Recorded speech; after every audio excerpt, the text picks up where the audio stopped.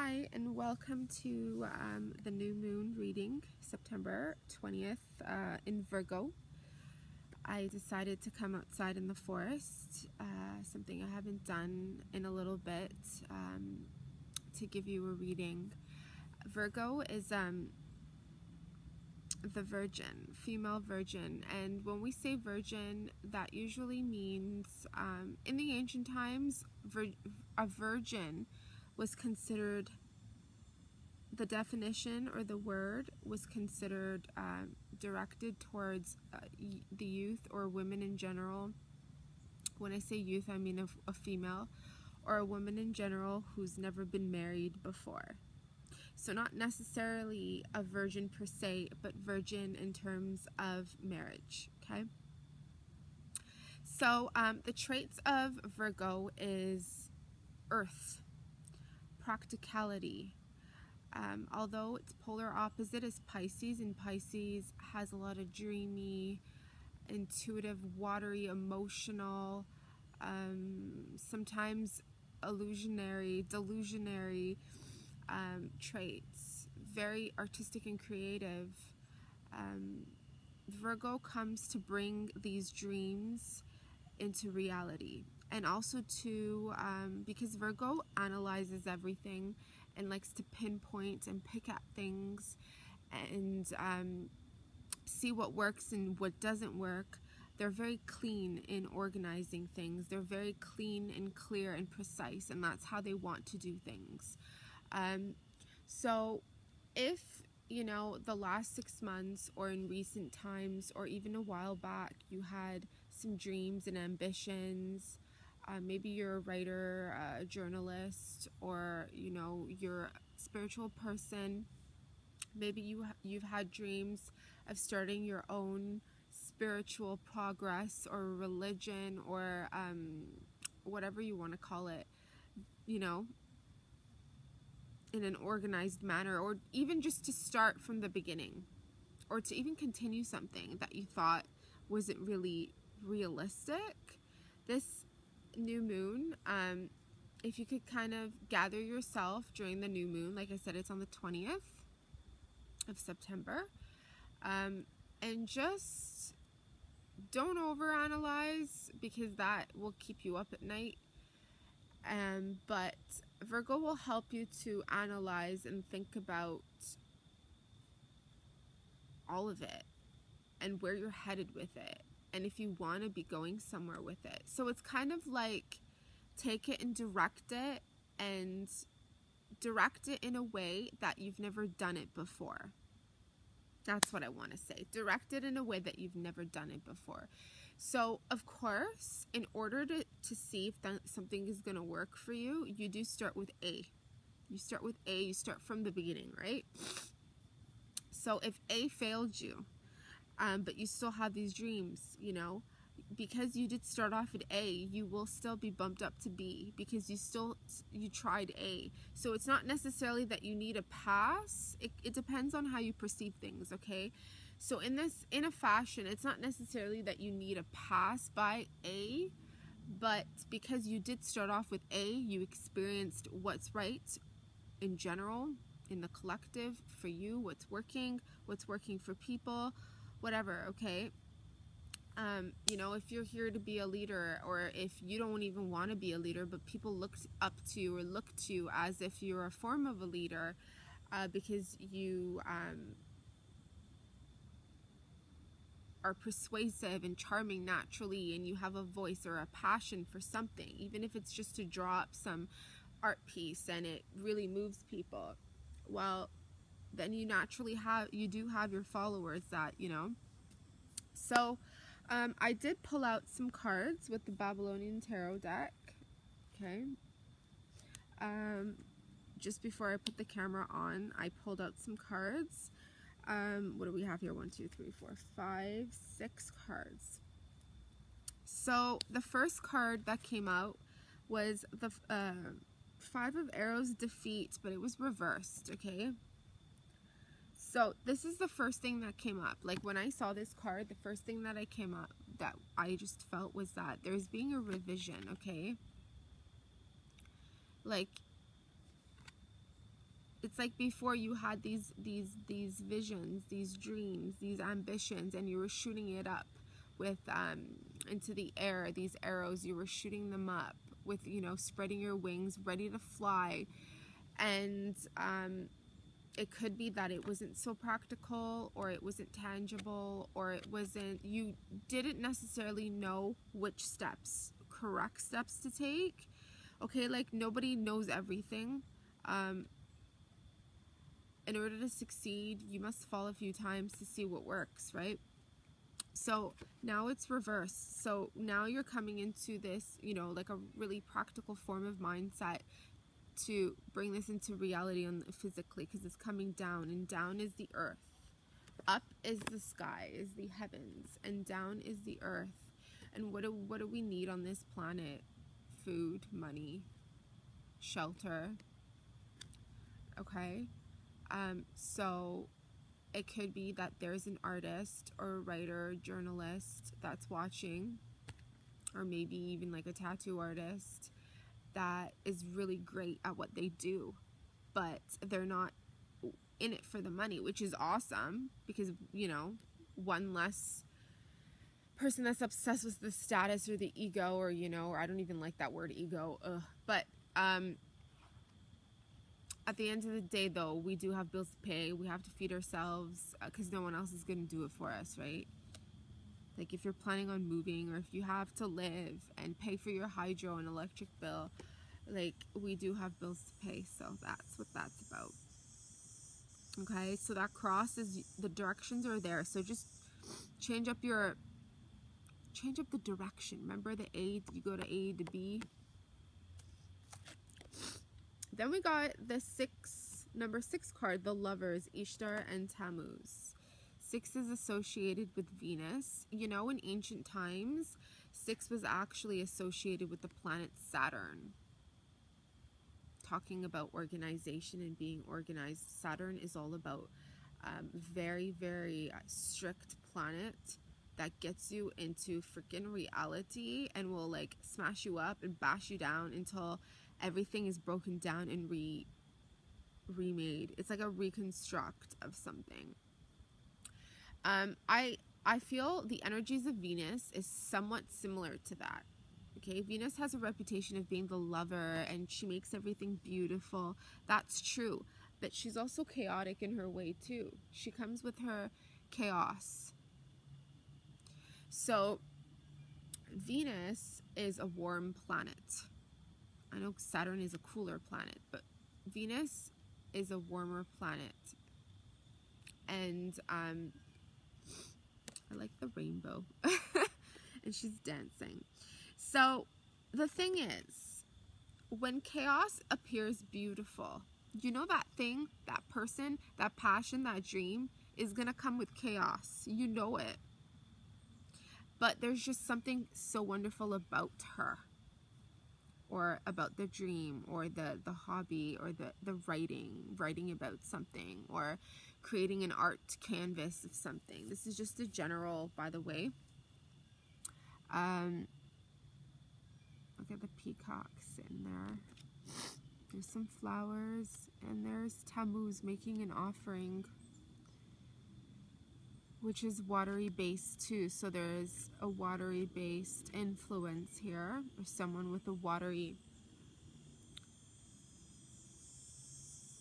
like Neptune or Uranus, Uranus.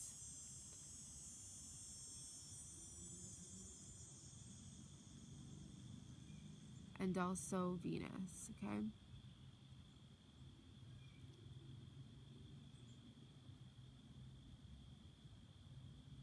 Something with Libra. So um, we do have a Libra. Um, oh my gosh, completely.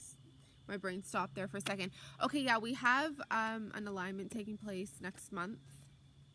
I know we start Libra on the 23rd. So um, the 23rd of September is the first day of Libra. So about three days after the new moon. We're in Libra.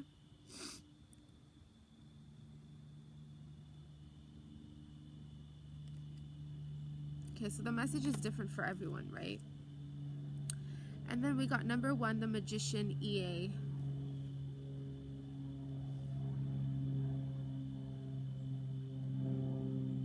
Okay, so this is just a confirmation that you direct your reality.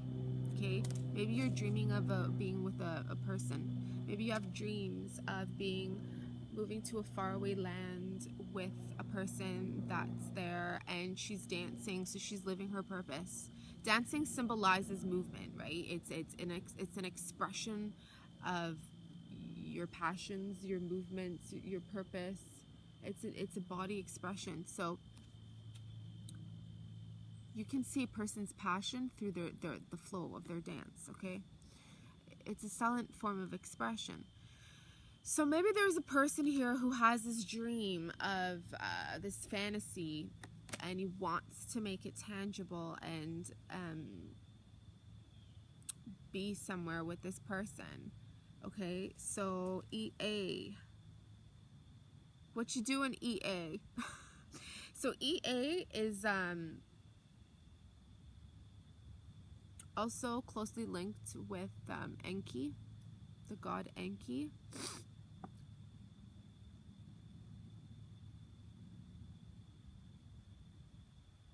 And if you can see the fishies flowing up and down, so there's a movement, okay, literally movement, where there's like a river.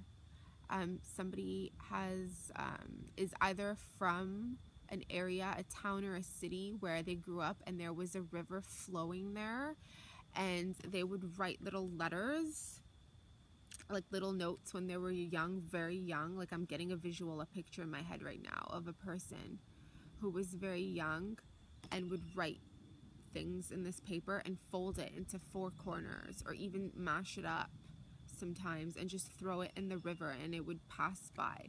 If you think about it, if you realize and become conscious enough,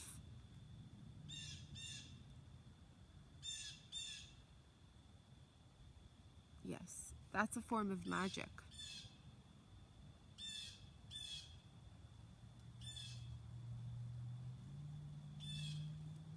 That's a form of magic.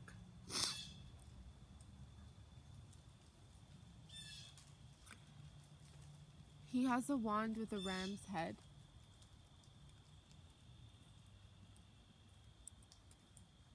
Someone's ancestors are speaking through. Speaking of ancestors, do you see his hat?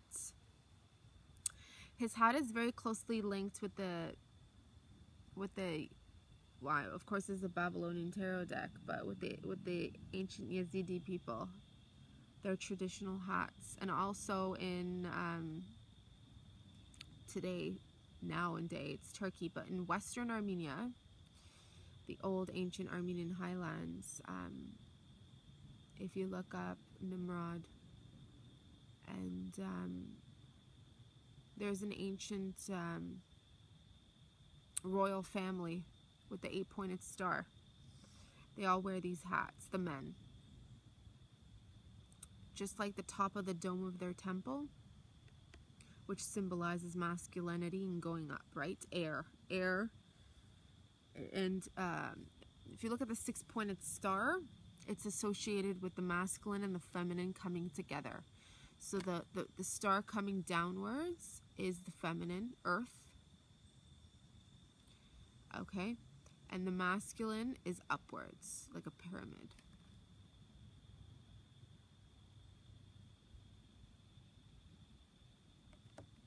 There's a turtle here. Turtles are steady, very steady animals. Um, also linked up with Virgo because Virgo, although, you know, there's um, turtles and... Anyways, very precise. Slow movement, but very precise, man. They'll they'll go. They'll do what they need to do, but just don't rush them. You can't rush them because anything that's going to be done like this relationship, okay? Don't rush it. If it's good, doesn't matter if it takes five years, 10 years, don't rush it. But if it does happen fast, because of outer circumstances, external circumstances above the both of you, then take that and grow with each other. Okay? Because from what I'm aware of, turtles don't find their mates slowly. there's a turtle here. Turtles are steady, very steady animals. Um, also linked up with Virgo because Virgo, although, you know, there's um, turtles and anyways, very precise. Slow movement but very precise man. They'll they'll go. They'll do what they need to do but just don't rush them. You can't rush them because anything that's going to be done like this relationship okay? Don't rush it. If it's good doesn't matter if it takes five years ten years don't rush it but if it does happen fast because of outer circumstances external circumstances above the both of you then take that and grow with each other okay? Because from what I'm aware of, turtles don't find their mates slowly. They don't find them. They they find each other like that, just like that. But when it comes to fulfilling their life purpose together, they're slow. When it comes to moving, they're slow. So, and then we've got a 17, the star Siduri. Ah. So, speaking of an eight pointed star, that's, you know, literally directed to that eight pointed star. Seven, eight.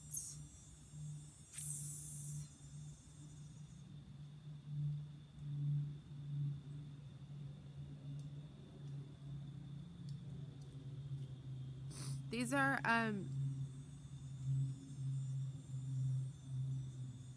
definitely like Aquarius and Piscean energy influences. Like I said, with the Uranus and uh, Neptune energies are present, okay? From what I'm aware of, the Star Tarot card is literally associated with Aquarius um, because Aquarius is that eclectic, life giving um, force. Um, and okay, every sign, everything in reality, everything in reality has a plus side and a negative side, a, neg- a positive and a negative, okay? A dark and a light. Everything. So on the plus side of Aquarius is likes to get into humanitarian causes, okay, and likes to recreate things. If you look, if you study the planet Uranus, the planet literally rotates in its center on its belly half of it, which I'm not sure why they haven't associated um, Uranus with Pisces, because Pisces is the two fish that um, is not facing each other. It's it's in it's in complete different different opposite directions. Speaking about directions, um,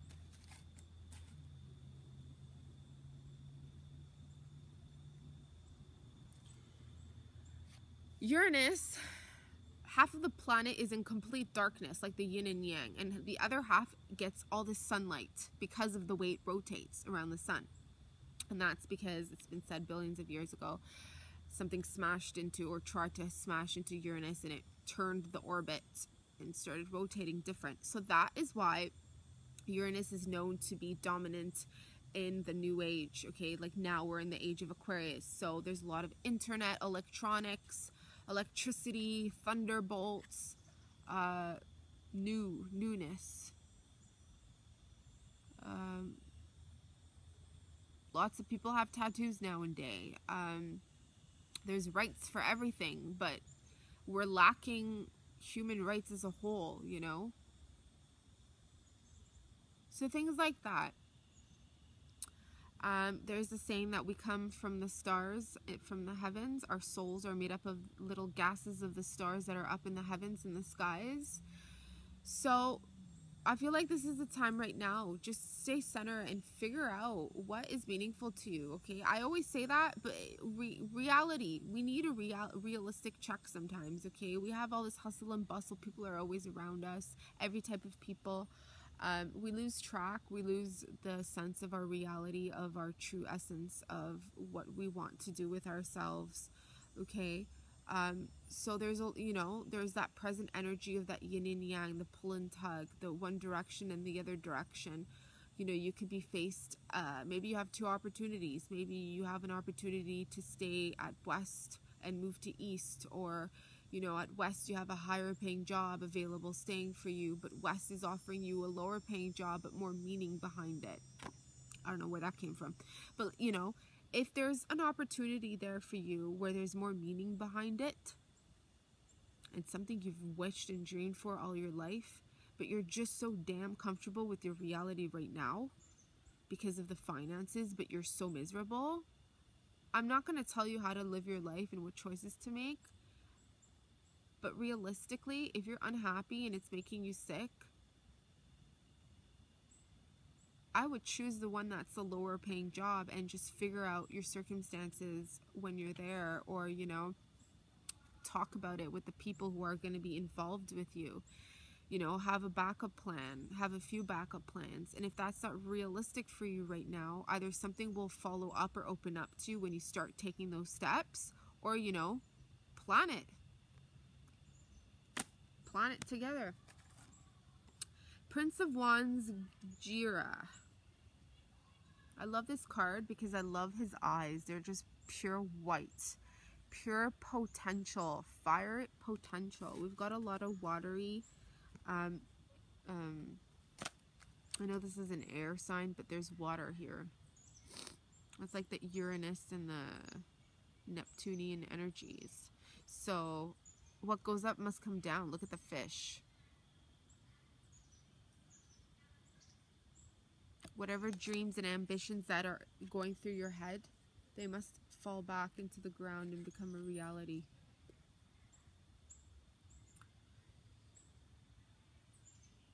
So the Prince of Wands is all about that fire.